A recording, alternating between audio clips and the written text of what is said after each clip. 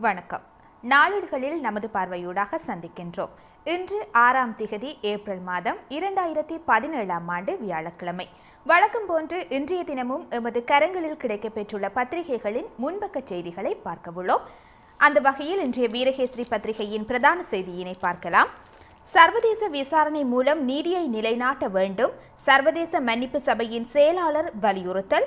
இருவரிட கால அவகாசம் ஓய்வுக்கானது அல்ல. காணி விடுவிப்பு அவசியமானது.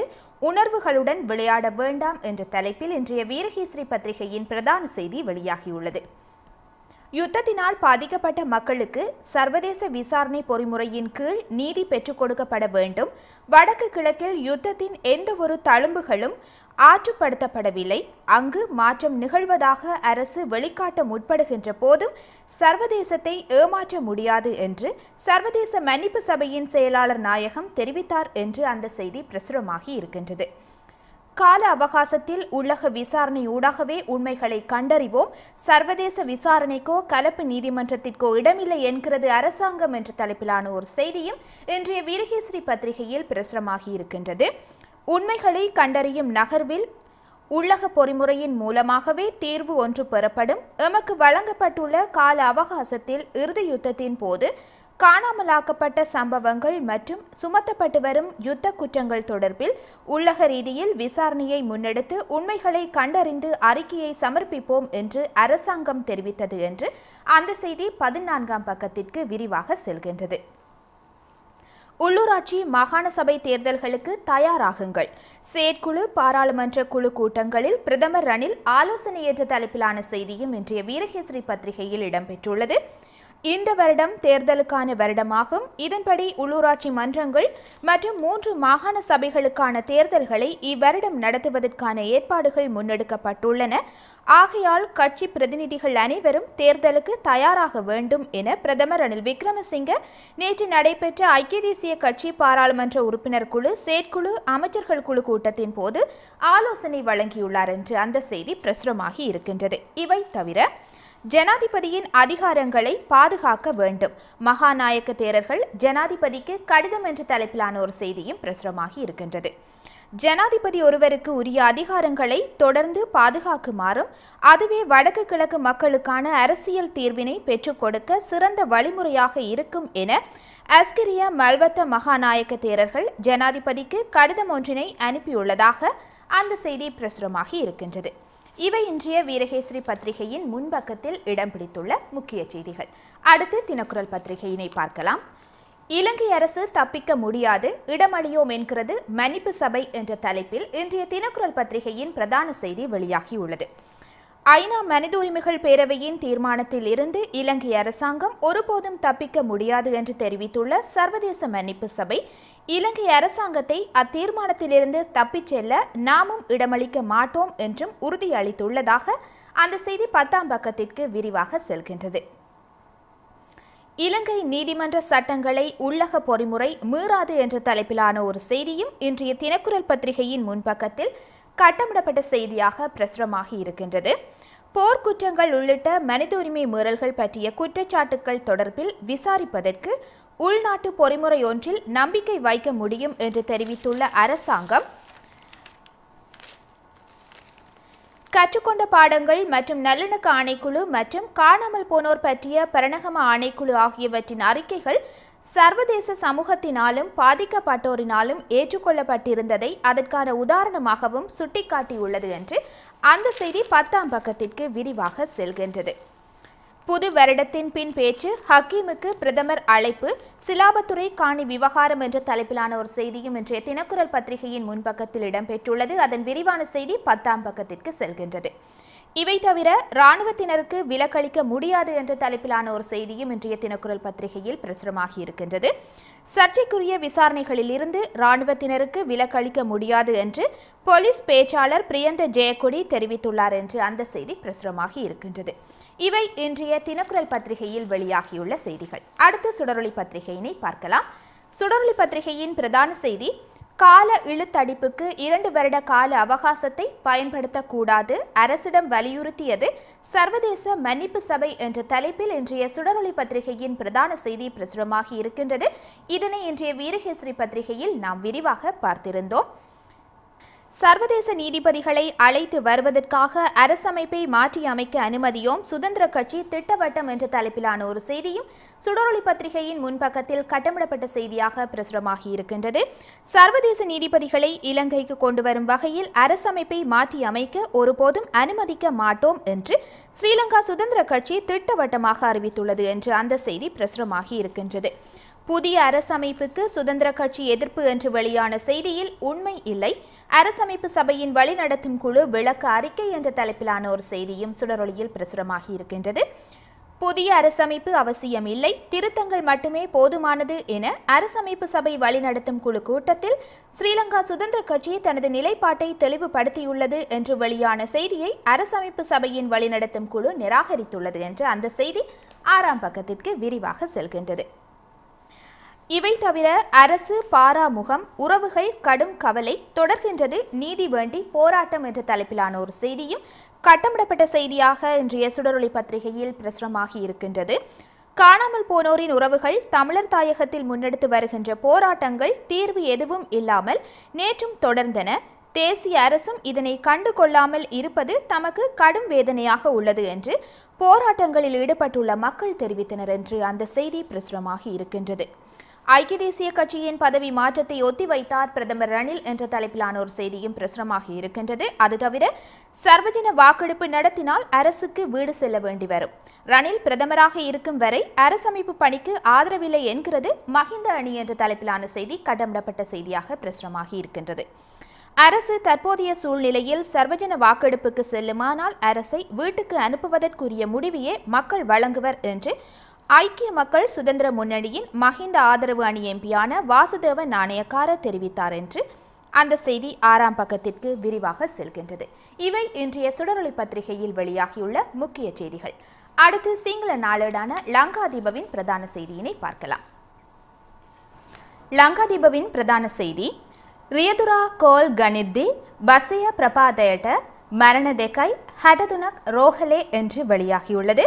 அதாவது நாவலப்பிட்டியிலிருந்து தொலஸ்பாக பகுதி நோக்கி பயணித்த இலங்கை போக்குவரத்து சபைக்கு சொந்தமான பேருந்து ஒன்று கோணவலப்பத்தன பகுதியில் முன்னூறு அடி பள்ளத்தில் விழுந்து இருவர் உயிரிழந்துள்ளதுடன் அறுபத்தி மூன்று பேர் படுகாயமடைந்த நிலையில் கண்டி வைத்தியசாலையில் அனுமதிக்கப்பட்டுள்ளனர் என்பதே அந்த செய்தியாகும். அடுத்து ஆங்கில நாளேடான டெய்லி மிரரின் பிரதான செய்தியினை பார்க்கலாம். டெய்லி மிரரின் பிரதான செய்தி Hambantota port project no draft one MOU with China.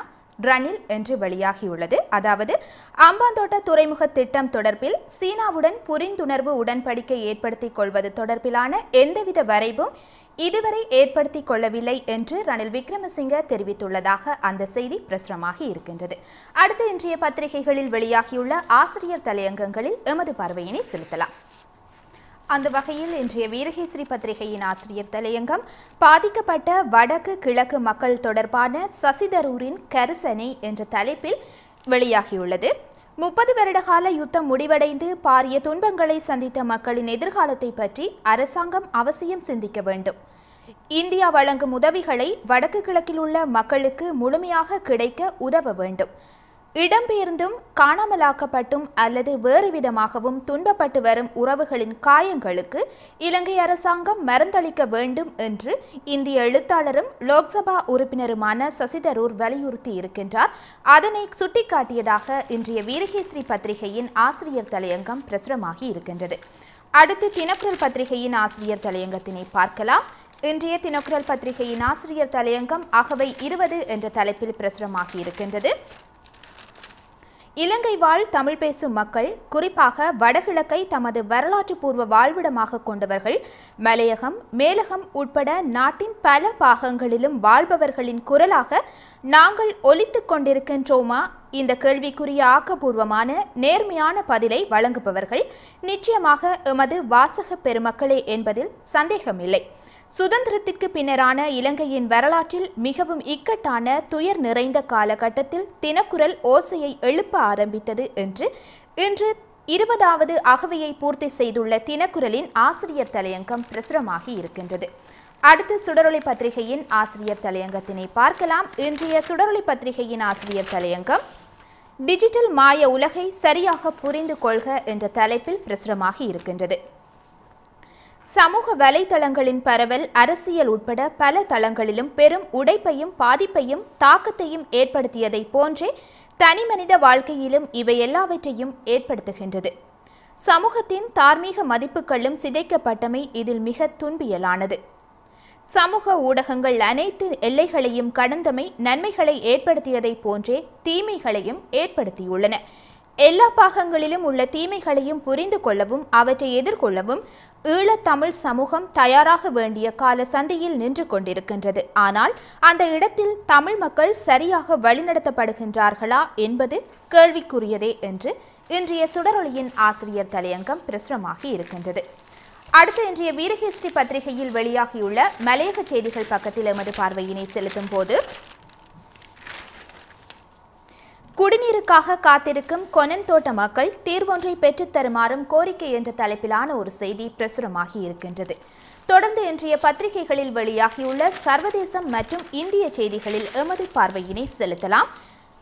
வீரகேசரியின் உலக செய்திகள் பக்கத்தில் டொனால்ட் ட்ரம்பின் அமெரிக்க மெக்சிகோ எல்லை சுவரின் முதலாவது மாதிரி வடிவமைப்புகள் வெளியீடு என்ற தலைப்பிலான ஒரு செய்தி பிரசுரமாகி இருக்கின்றது. அது தவிர சோமாலியாவில் உணவகத்திற்கு அருகில் கார்குண்டு தாக்குதல் ஏழு பேர் உயிரிழப்பு என்ற தலைப்பிலான ஒரு செய்தி பிரசுரமாகி இருக்கின்றது. சோமாலிய தலைநகர் மொகாதிஷுவில் அந்நாட்டு உள்நாட்டு பாதுகாப்பு அமைச்சுக்கு அருகில் உள்ள உணவகம் ஒன்றில் நேற்று புதன்கிழமை இந்த கார்குண்டு தாக்குதல் நடத்தப்பட்டுள்ளதாக அந்த செய்தி பிரசுரமாகி இருக்கின்றது. அது தவிர பாகிஸ்தானிய லாகூர் நகரில் தற்கொலை குண்டு தாக்குதல் ஆறு பேர் உயிரிழப்பு பதினெட்டு பேர் காயம் என்ற தலைப்பிலான ஒரு செய்தியும் பிரசுரமாகி இருக்கின்றது. அடுத்து இந்திய செய்திகள் பக்கத்தினை பார்க்கலாம். வீரகேசரியின் இந்திய செய்திகள் பக்கத்தில் டெல்லியில் விவசாயிகள் மயக்கம் மருத்துவமனையில் அவசர சிகிச்சை என்ற தலைப்பிலான ஒரு செய்தி பிரசுரமாகி இருக்கின்றது. டெல்லியில் போராட்டத்தில் ஈடுபட்டுள்ள ஐயா கண்ணு உள்ளிட்ட இரண்டு விவசாயிகள் மருத்துவமனையில் அனுமதிக்கப்பட்டுள்ளனர் என்று அந்த செய்தி தொடர்ந்து செல்கின்றது. இது தவிர வாக்காளர்களுக்கு லஞ்சம் தினகரன் அடியாட்கள் இருபத்தி மூன்று பேர் கைது என்ற தலைப்பிலான ஒரு செய்தியும் பிரசுரமாகி இருக்கின்றது. பணப்பட்டுவாடா செய்த தீபா அணியினர் புகைப்படம் எடுத்த ஊடகவியலாளருக்கு கொலை மிரட்டல் என்ற தலைப்பிலான ஒரு செய்தியும் வீரகேசரியின் இந்திய செய்திகள் பக்கத்தில் பிரசுரமாகி இருக்கின்றது. ஆர்கே நகர் இடைத்தேர்தலில் போட்டியிடும் ஜெயலலிதாவின் அண்ணன் மகள் தீபாவின் ஆதரவாளர்கள் பணப்பட்டுவாடாவில் ஈடுபட்ட போது அதனை புகைப்படம் எடுக்க முயன்ற ஊடகவியலாளருக்கு கொலை மிரட்டல் விடுத்துள்ளமை பரபரப்பை ஏற்படுத்தியுள்ளது என்று அந்த செய்தி பிரசுரமாகி இருக்கின்றது. அடுத்து யாழ் பிராந்திய பத்திரிகைகளான உதயன் வலபுரி மற்றும் காலை கதிர் பத்திரிகைகளின் பிரதான செய்திகளை பார்க்கலாம். உதயனின் பிரதான செய்தி இழுத்தடிக்காமல் மிக தெளிவாக செயற்படுவதற்கான அவகாசமே இது. ஜெனீவாவில் வழங்கப்பட்ட இருவருட காலம் குறித்து ரணிலிடம் அளித்து கூறியது பன்னாட்டு மன்னிப்பு சபை என்ற தலைப்பில் இன்றைய உதயன் பத்திரிகையின் பிரதான செய்தி வெளியாகியுள்ளது. அடுத்து இன்றைய வலம்புரி பத்திரிகையின் பிரதான செய்தியினை பார்க்கலாம். வலம்புரியின் பிரதான செய்தி அரசுக்கு தொடர்ந்தும் அழுத்தம் பிரயோகிப்போம்.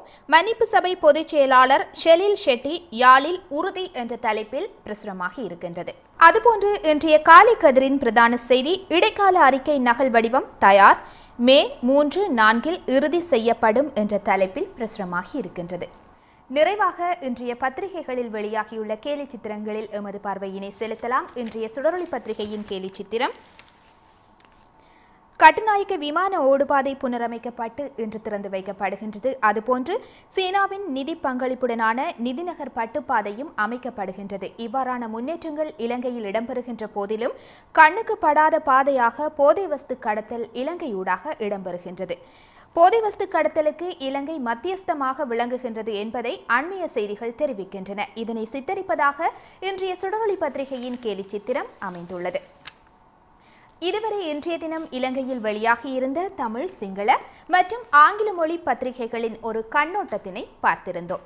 மீண்டும் ஒரு நாளேடுகளில் நமது பார்வையூடாக சந்திப்போம். வணக்கம்.